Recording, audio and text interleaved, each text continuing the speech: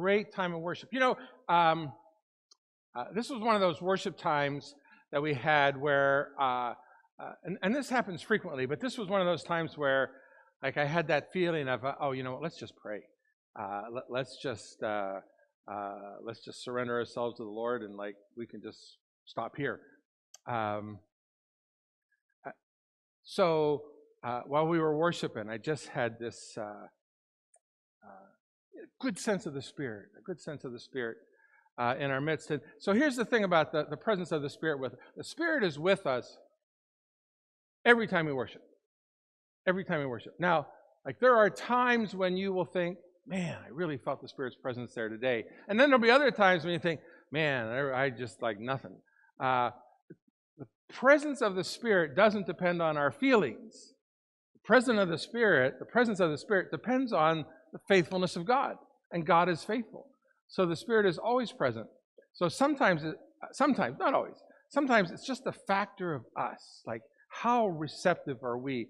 Like, there might be some of you out there today, like I was really feeling it this morning. And there might be some of you out there that's like, what? Like, what? There's nothing for me.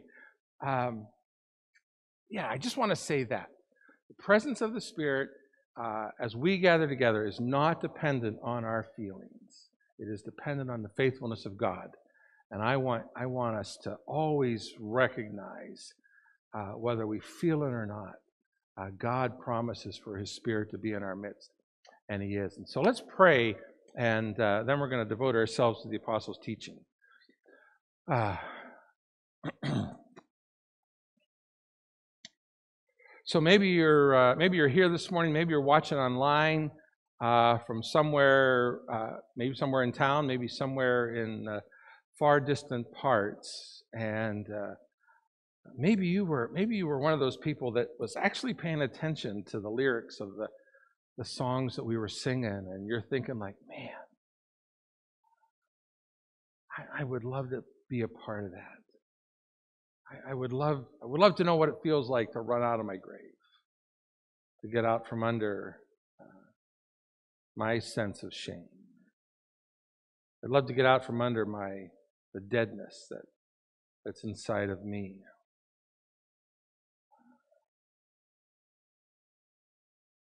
Maybe you want to have a sense of uh, what it feels like for God to do a brand new work in your life. And so, God, I'm just, I'm calling on you now, calling on you now. I, there's not one thing, whether as pastor or as worship team or anything we do in this church, can can manufacture uh, transformation of our lives.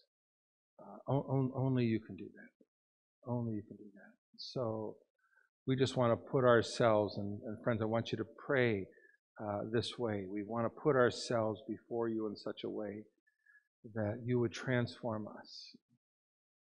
And so that always will mean, always will mean, a dying to our old self which is another way of saying uh, repenting of our sin, but it's dying to our old self, our old way of life. It's trusting that as we do die to our old self, that, that you'll breathe new life into us. By your Holy Spirit, we'll be born again. We'll be alive in Christ, even though once we were dead in our old self.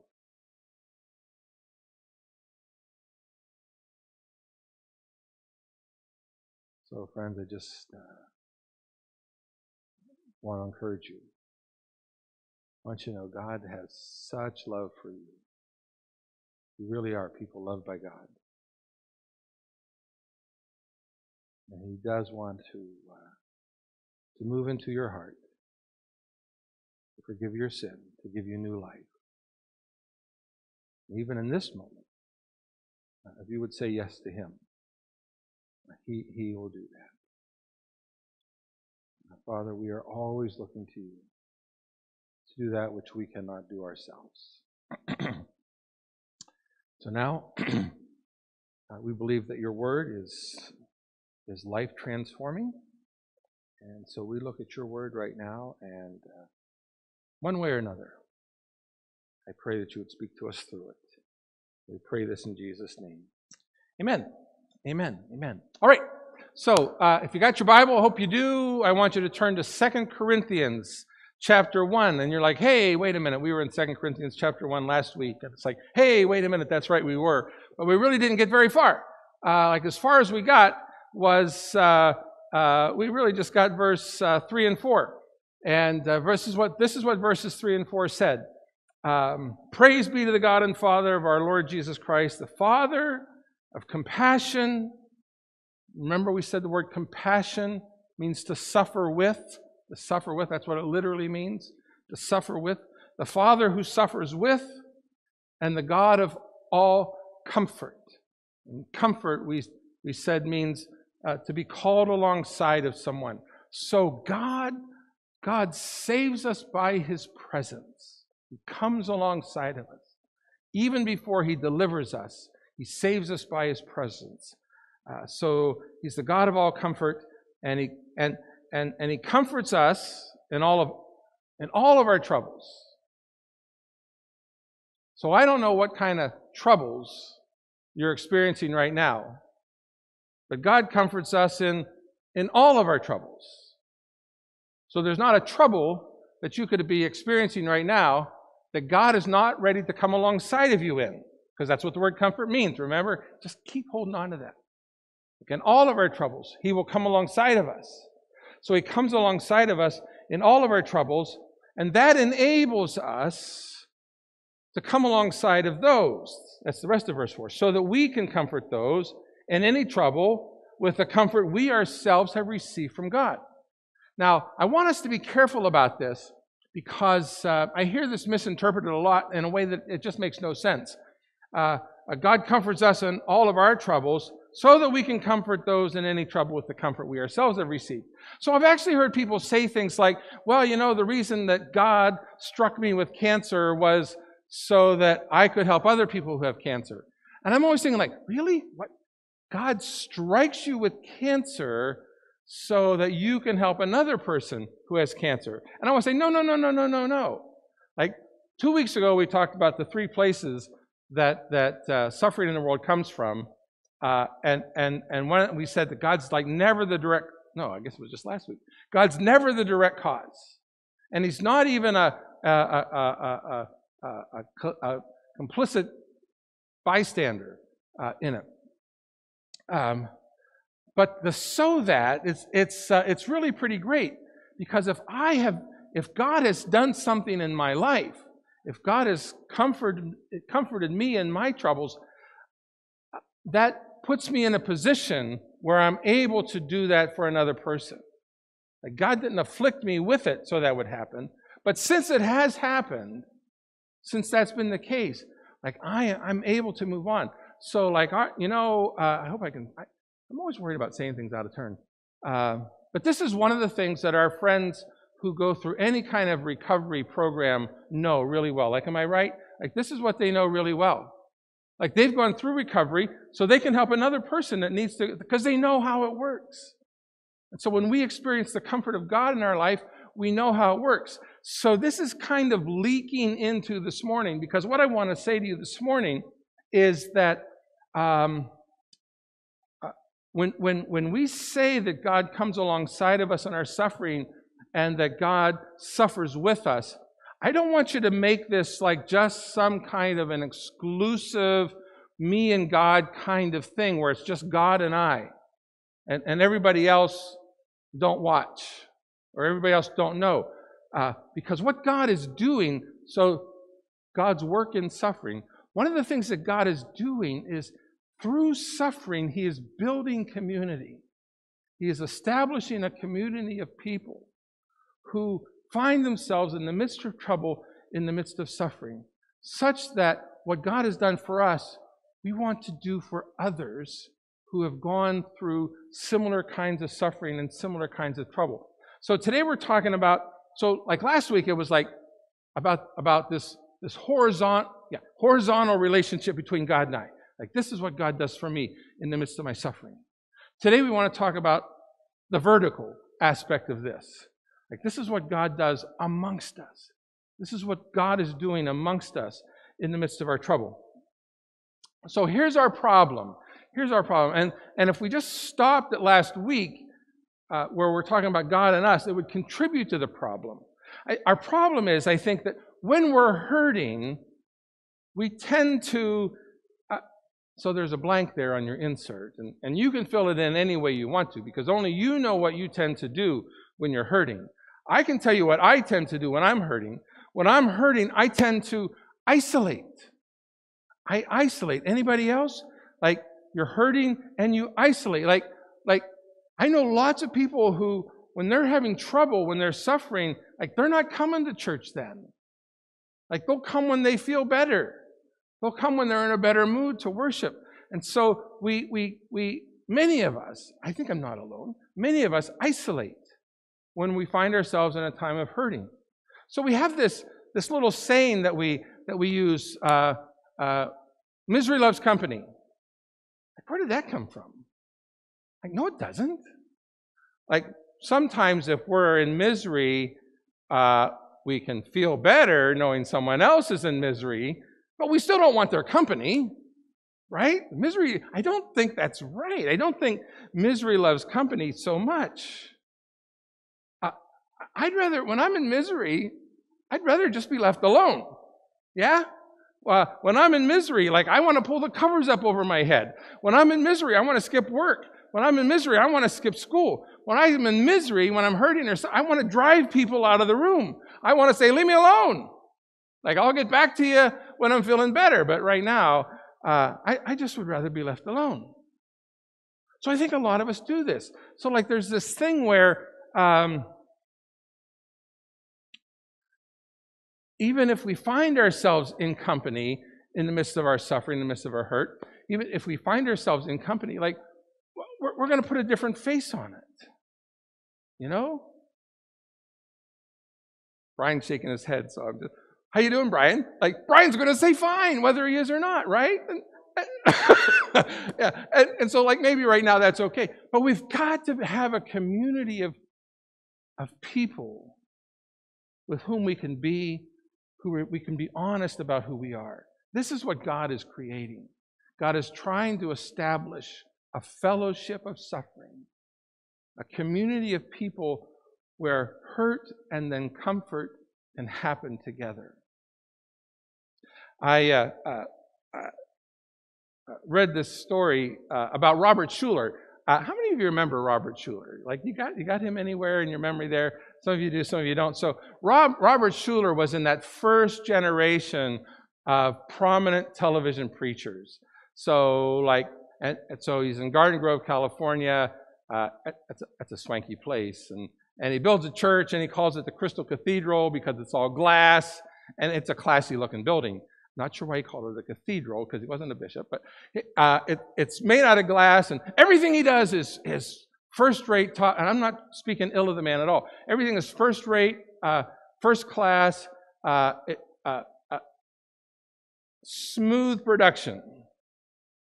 Everything was perfect. And, and I mean that, like perfect. So he's out and about one day. So he's telling this story. He's the one that's telling this story. Uh, so, like, he, he, he wants to put this forth as a good thing. Uh, he's out and about one day, like maybe he's in the grocery store, can't quite picture it, uh, but he's out in the grocery store, and one of his parishioners sees him and looks at him, and he's just like he doesn't have his robe on, but he, he's looking pretty smart. And uh, his parishioner said, Every time I see you, every time I see you, you, you, you're at your best. Every time I see you, you're looking your best. And he said, his reply was, That's right. That's right. Because if I'm not at my best, you won't see me. What? If I'm not at my best, you won't see me. So I just want to say that this, that kind of mentality is not what God is creating. It's not what He has designed. He has designed us to be in a fellowship of sufferings. Let me tell you how I know that. I've given you a really long time to find your text. Now, hopefully, you did. So, 2 Corinthians chapter 1. Um, and I'm gonna I'm gonna be I'm gonna start at verse five. Last week we looked at three and four. I'm gonna start at verse at verse five, and, I, and I'm gonna tell you to underline some things. And if it doesn't match the screen, yeah, which it does. There you go, Katie. Uh, uh, so underline these things. For just as we share, like underline underline the word share. For just as we share abundantly in the sufferings of Christ,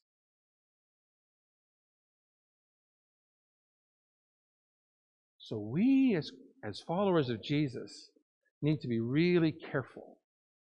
Because sometimes our language, the way we say things, is that Christ suffered for us.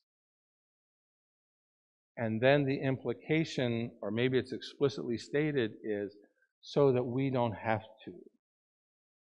Friends, I, I, that's just not in the Bible. That's just not in the Bible. Paul repeatedly, Paul talks about completing the sufferings of Christ. That whatever was lacking in the sufferings of Christ, that, that we complete. And here he says, we share, he even says abundantly, we share abundantly in the sufferings of Christ. I'm going to say more on that in a minute. So underline the word share. Uh, for just as we share abundantly in the sufferings of Christ, so also our comfort abounds through Christ. So I'm not sure why the NIV translates the words abundantly and abounds uh, as two different words because it's actually the same word and it's just overflowing. It's overflowing. So Paul is saying, look, like, like when, when we, so it's enough to be experiencing the suffering and the pain and the hurt that's, that's common to humanity. But then you add that, because we're not excluded from that, you add that to the, to the sufferings that we know that comes as as being a part of the follower, as part of a, being a follower of Jesus. Uh, and he says it, it, it, overflows. It overflows. It overflows. Uh, is, is the word to choose there. But so does the comfort. Same word, overflows. It overflows. So the suffering that we experience in Christ overflows, but the comfort also overflows through Christ. And then he says, uh, if we're distressed, it's for your comfort and salvation. If we're comforted, it's for your comfort, which produces you produces in you patient endurance. So patient endurance, that's another thing that God's working in our sufferings, and we're not talking about that right now. I just wanted to point it out to you. Produces in you patient endurance of the same sufferings. Okay, like un- underline same, like same sufferings. Like that's again sharing. We're sharing in the suffering of Christ. We're suffering, and then, and then you're sharing the same sufferings that we're sharing. And our hope for you is firm because we know that just as you share, there's that word again, in our sufferings, so also you share in our comfort. Look, uh, uh, some of you really like to really work hard at making sure you get the blanks filled in, right? But you ought to be able to get this, right? So uh, when you read the text in 2 Corinthians 1 that we just read, Paul's very clear to say suffering is a shared experience. It's a shared experience. And then likewise, he says comfort is a shared experience. You see, God is using this experience of, of adversity that we go through, He's using it to form community, to shape community. That this is not a community for people who just have it all together. This isn't a community for people that, that got it all figured out or, or who do life perfectly or who always look their best or who are always at their best. God is forming a community of people who like, just know that they hurt. They know that there's that there's there's adversity and hardship involved in our lives, and we don't have to pretend otherwise. This is the kind of community that God is forming. Both suffering and comfort are to be experienced as we live in community with each other, as we share it together. So here's something really interesting. Uh, so sometimes when I say that, it's like the first thought that goes through my head is like, well, it's really interesting to you, but nobody else really cares. So I think this is really interesting. Like I had you underline the word share or some facsimile thereof, one, two, three, uh, uh, at least four times uh, in, in, that passage. And uh, truthfully, uh, I just want to be honest here. Uh, the word only shows up once. It only shows. It's supplied and assumed in the other occasions, but it really only shows up once. And, and, and it shows up in verse 7. It shows up in verse 7 where it says, Our hope for you is firm because we know that just as you share in our sufferings, that's where the word share actually shows up. But it's a word that some of you, maybe a lot of you, maybe all of you, might recognize. It's one of our Christianese words, the word koinonia. Oh, I've heard that word before. Like sometimes we use this word koinonia to talk about the kind of fellowship Christians should experience or, or the kind of community that Christians should experience. Uh, it's the word that we find in, uh, in Acts chapter 2, koinonia. Now, what, what else is interesting about this word is that uh, when we see it, because we know that just as you share in our sufferings, like the word share there is used as a verb, but, but it's not really a verb. Like the word that's there is not really a verb, it's, it's actually a noun. You're a sharer in our sufferings. Now, I, I think this is relevant. You're a sharer in our sufferings. Like, you're a shareholder in this company of sufferers. Like, I'm part owner of the pain that you experience. I'm a shareholder. You're part owner in the, in the pain and the hardship that I experience. Because we're all shareholders in this company of sufferers. I think that's pretty great. I think that's pretty great. So the invitation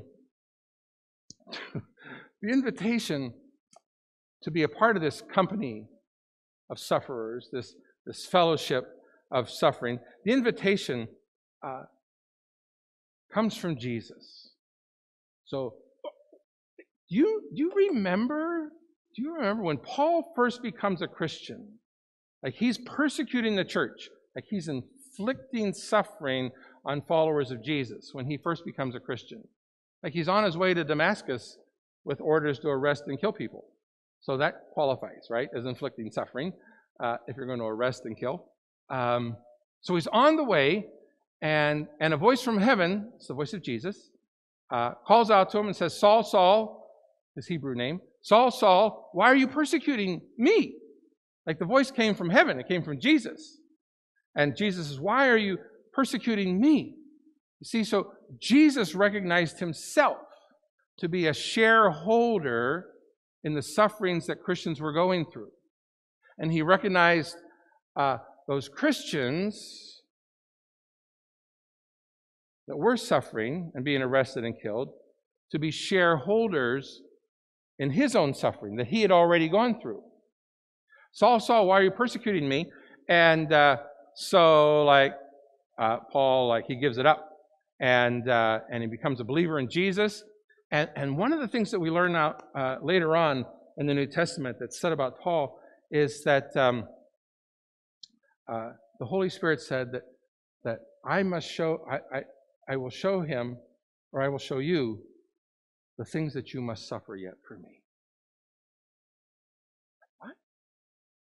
Like his, his invitation, Paul's invitation into the life of Jesus was actually an invitation into the sufferings of Jesus. So this actually started all the way back in the Gospels. This started at this place where, where I, I like to say is the, the, uh, the uh, uh chronological beginning of Lent. Like Lent begins with, with this conversation that Jesus has with his disciples. And so it's in, um, it's in uh, uh, uh Matthew 16, well, and it's in Mark and Luke as well. But in Matthew 16, uh, when we find the story there, um, Jesus has, has pulled his 11 away, and or his 12, sorry, and he says, uh, "Who do people say that I am?" Like he's looking for the confession.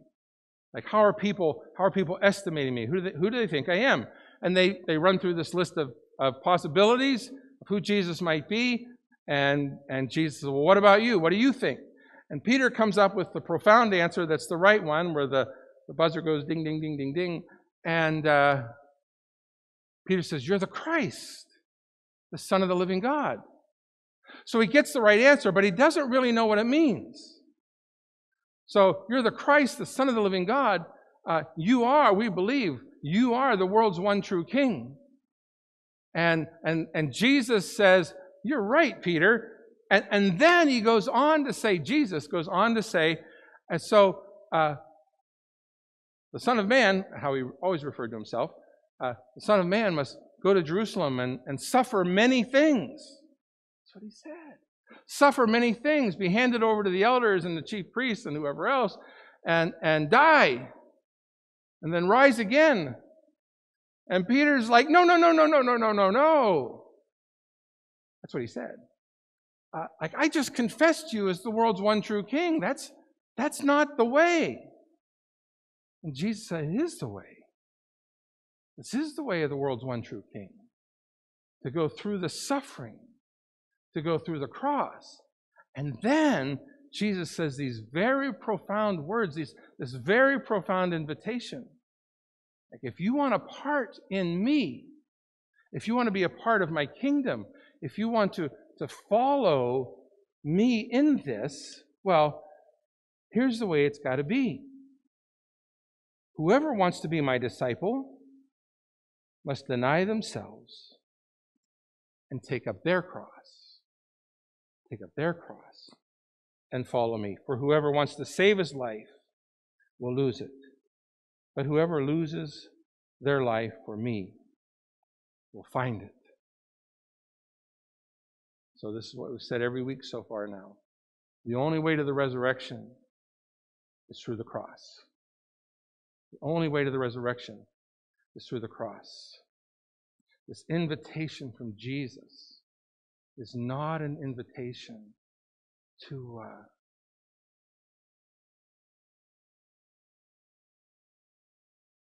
always be at our best. It's not an invitation to uh,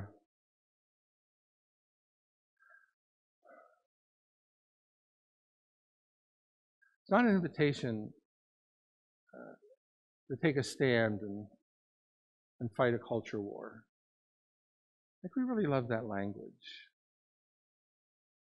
This week I watched a guy on YouTube who uh, I think kind of portrayed uh, a mindset that a lot of the American church likes. Uh, so this was a this was a preacher that um, and, and, and, he was a preacher. Like he had a church, had a platform. Uh, so, uh, like I, I want to say I'm not making fun of him, but it'll sound like I am. Probably I am. I need to repent. Uh, he looked like he just came out of a WWE ring. All right, he looked like a professional wrestler guy. Like he had that look, uh, and uh, uh, he was dressed. He had a a t-shirt on that kind of had like kind of like a tie that looked like a cross or a cross that looked like a tie i don't know which it was and, and some kind of a i think it was like a some kind of a biker type vest which is which is all fine so far uh, but then he had on uh, uh, uh leggings. So like i just want I, no maybe i don't want to know. I want to know if any guys here ever wore leggings. Uh, uh, Tim says no. Okay, so here's the irony though. Uh, he was wearing leggings that were camo. They were camo leggings. And there's this incongruity going on in my mind like, wait a minute. Guys that wear leggings don't wear camo, and guys that wear camo don't typically wear leggings. I think. I don't know. They just didn't seem to go together. But there he was, just the same. And, uh, and he was strutting, like I mean strutting. He was strutting across the stage. And um, uh, he was he was issuing a message of of, of, of, of strength and of power, and he was using fighting words. And, and the last thing I heard him say, uh, and it wasn't the last line of his message, but the, but the last thing I heard him say was that our country is being run by a bunch of wusses, except he didn't use a word that was, he used a word that was much more offensive than wusses. Uh, but it sort of right. Uh, do you know what I want to say is that's not Jesus. That's not Jesus. The, the invitation of Jesus was to take up a cross. Follow me. Join me in this, this cross shaped life that's full of, of sacrificial love, that doesn't fight with the weapons of the world. Right? Jesus said, My, my kingdom's not of this world. Meaning, like, I, I don't fight the way you guys do. I, I, got, I got better ways. I got resurrection power coming around the corner here. I don't fight the way you guys do. Uh, my kingdom's not of this world.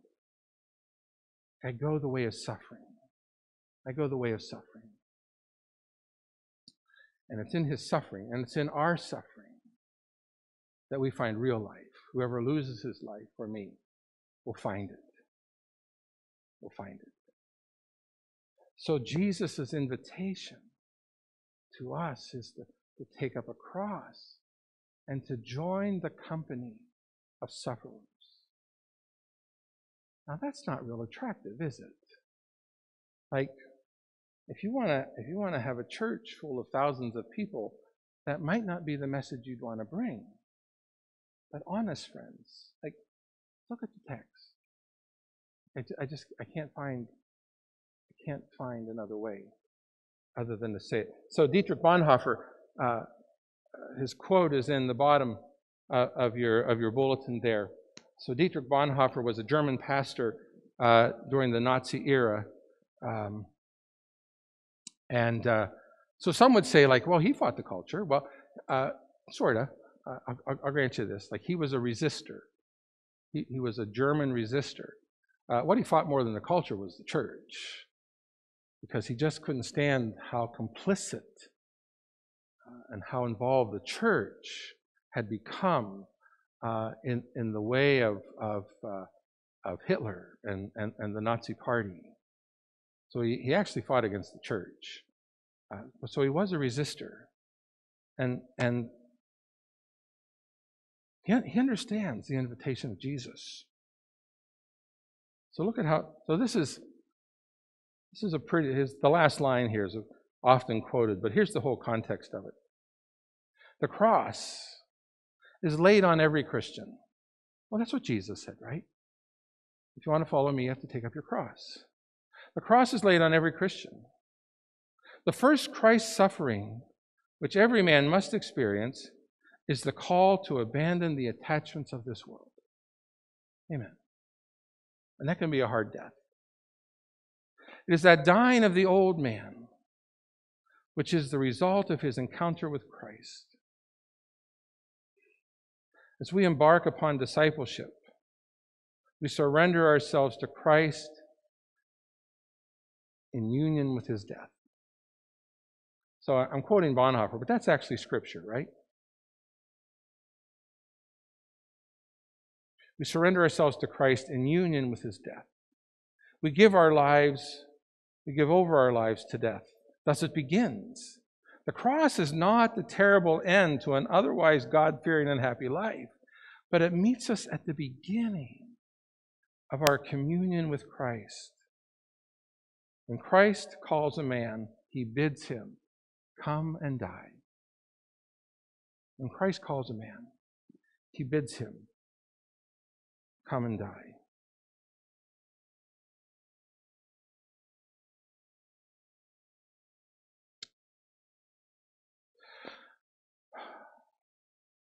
So,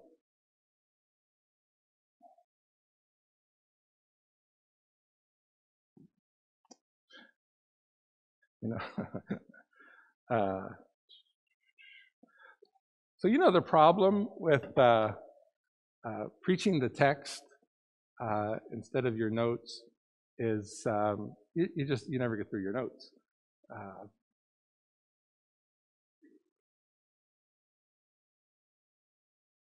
but, th- but there's the text anyway.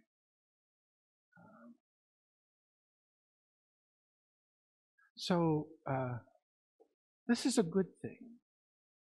This is a good thing. Maybe we'll finish that next week. I don't know. Well, five weeks in Second Corinthians chapter 1. Um, I, I want you to recognize this as good news. Suffering, good news? No. Good news that there's a company of sufferers. There's a fellowship of suffering with Christ and with one another. Suffering is going to be a part of life, period. So the good news is you don't have to fake it anymore. You don't have to act like you got it all together. You don't need to act like somehow uh, your life is going well because you have a lot of faith and it's not going well because you don't have enough faith. But that's just not there. So suffering is going to be there. Hardship, adversity is going to be there. The good news is there are other people that are there as well. And again, as we know the sufferings of Jesus, we know the comfort of Jesus, and, and we know it together.